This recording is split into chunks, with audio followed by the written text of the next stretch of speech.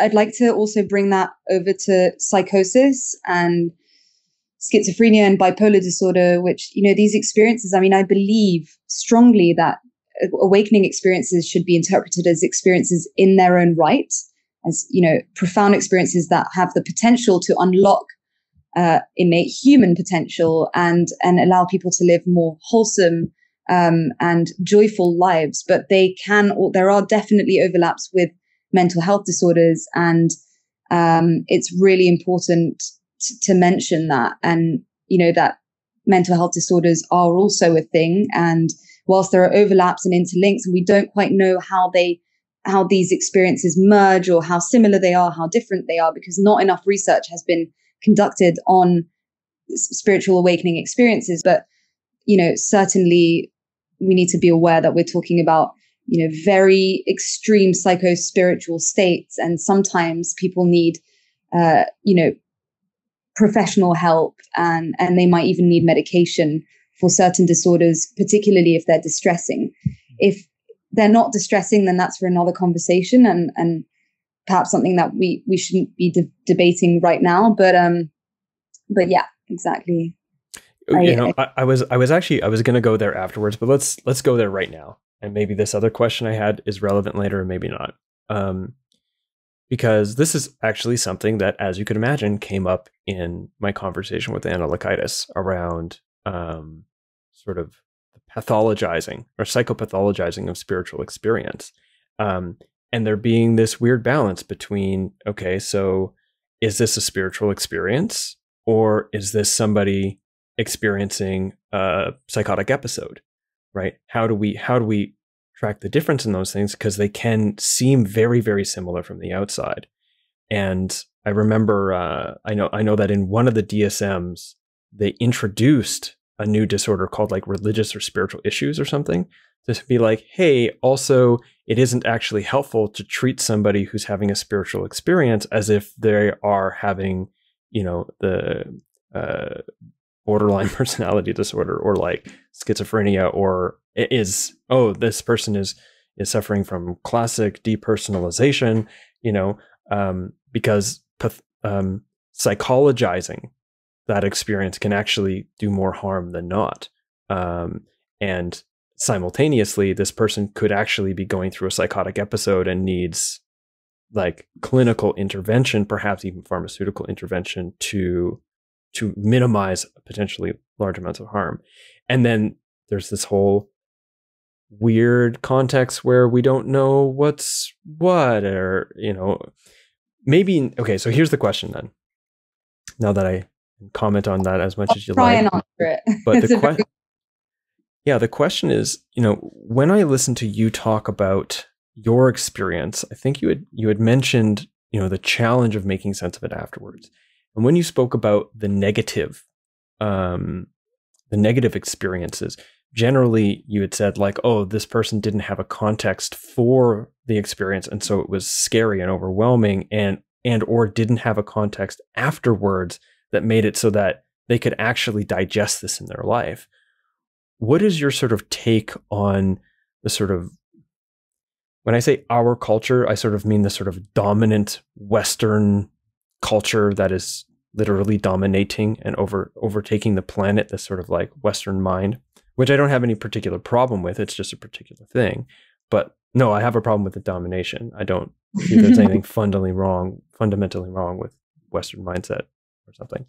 But um what do you see about the culture that we're in and why it is that the context of that culture leads to negative experiences both during and afterwards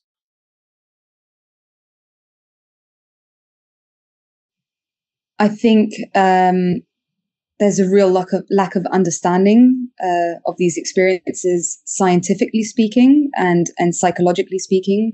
Like I said earlier, we don't know where the boundary, or if there even is a boundary between, you know, lies between spiritual experiences and mental health disorders.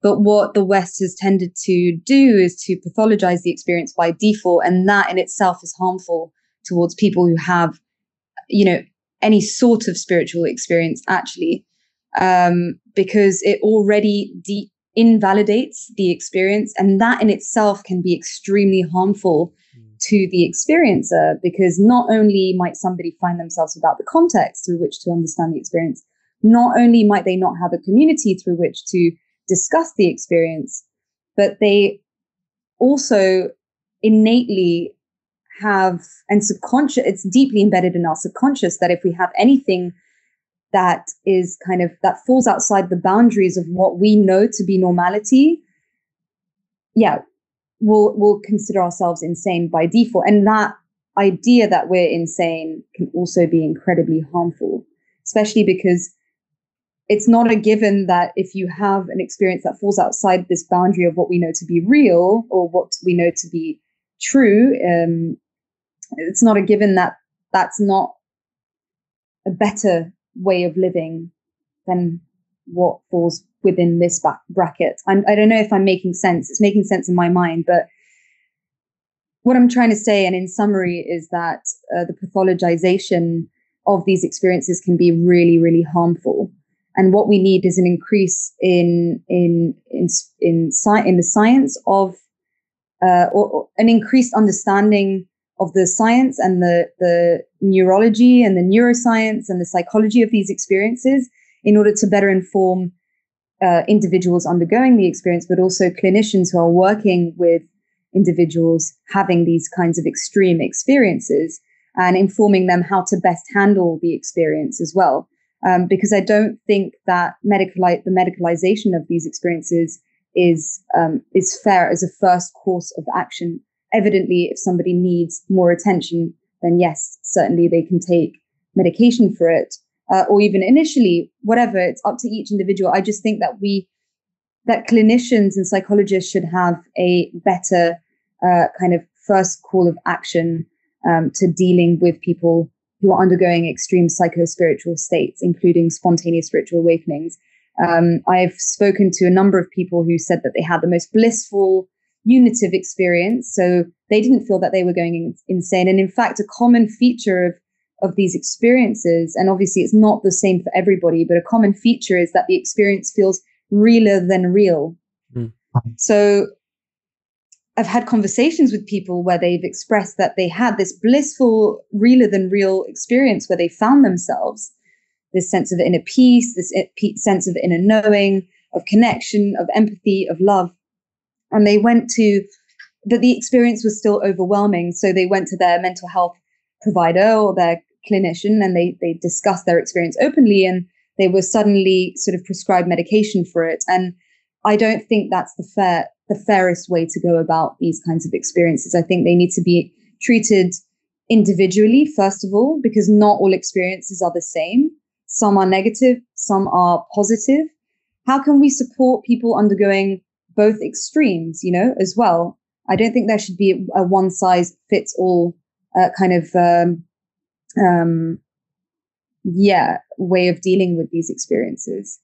Uh, and I think that can be extremely harmful and also the tabooness. Sorry, uh, just Please. to conclude, the tabooness of these experiences. Not sure if that's even a word, tabooness, but yeah, uh, the fact that these experiences are so tabooed um, make it so difficult for people to come out of their spiritual closet as well. Um, and so, you know, again, that holding of it, withholding of information and that holding it in when for people, for many people, it's the most blissful and incredible or even non-blissful, even most terrifying, but it's an experience that is so strong and yet they're not able to express themselves openly that is also extremely harmful and that's why i think spaces like your um, your psychedelic cafe i think you called it mm-hmm. um, are really really important and it's actually the basis of of the i run some uh, spiritual awakening sharing circles as well in london in person um, and that was the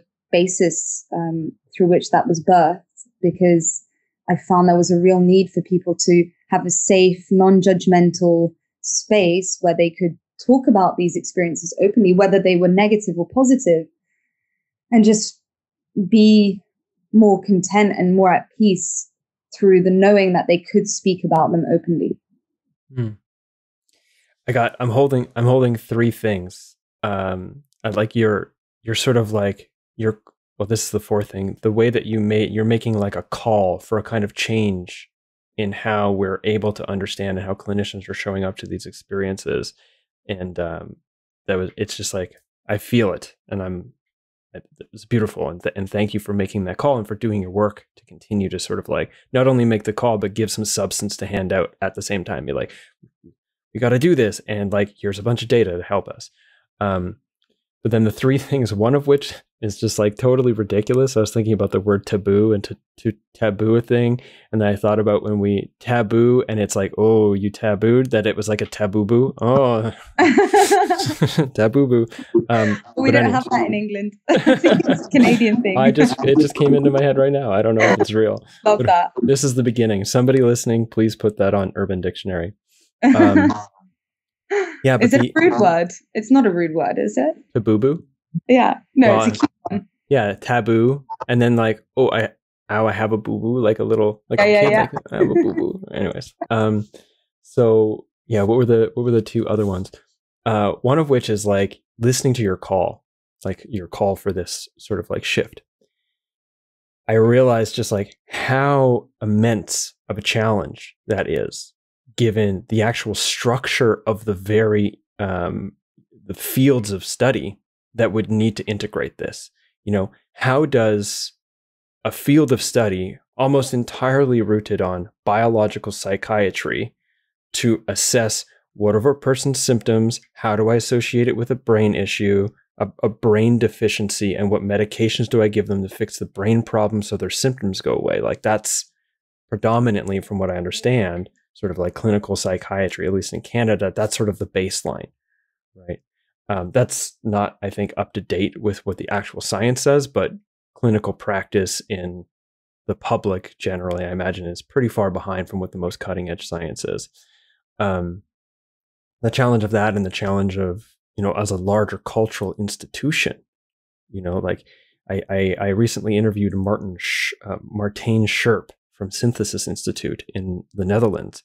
And there was a little bit a part of the conversation where we talked about the difference between integrating psychedelics into mainstream institutions and psychedelicizing those institutions so that psychedelics fit inside of them. Um, and that being a very important, important difference. And uh, yeah, just sort of recognizing the scope of the challenge and the scope of the conversation if we were to start to dive into what's happening with the structure now and why is it such a challenge and just kind of like leaving that as an open wondering for people listening.